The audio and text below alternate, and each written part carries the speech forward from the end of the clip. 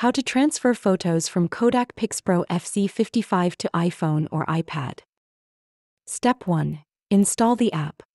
Open App Store, search PixPro Remote Viewer and install it. Requires iOS 14 Plus. Step 2. Turn on camera's Wi Fi. Power on the FZ55 and press mode until the Wi Fi icon antenna bars appears. Select it.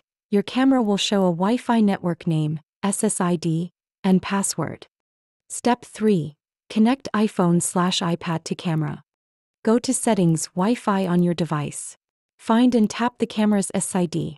Enter the password exactly as shown on the camera screen. Step 4. Open the PixPro app. Quit the app completely in iOS App Switcher and relaunch it. It will detect the camera and show your photos and videos. Step 5. Download photos. Tap the camera icon to access stored images slash videos. Select images you want and tap the download arrow. They'll save to your Photos or Files app.